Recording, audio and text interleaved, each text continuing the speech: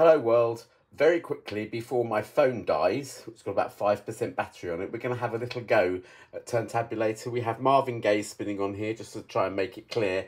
I wouldn't really recommend putting a phone on top of a record, but at least this has got a sort of very soft rubber cover on it, so hopefully it won't uh, upset it too much. So let's just tap spin. This is because the belts have been on for a week or so. And so I just wanted to see, give them a, a little chance to, to bed in a little bit and see whether or not, because it, it was, I've been living with about 33.6. So let's just see whether or not it's more accurate. 33.1. That's not too bad. Little cheat here. I did check this as soon as I got them home and they were 32 and it was 33.1 anyway, so it hasn't really changed at all in a week.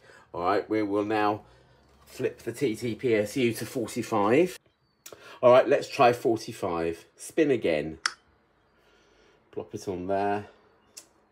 Okay, you, again, you wouldn't play Marvin Gaye at on an LP at any rate at 45, but this is just so that we can see whether or not 45s are spinning okay. And what are we at? Ideal. think that was something like 44.8. Yep, 44.8. Sorry, I had to move you out of the way there.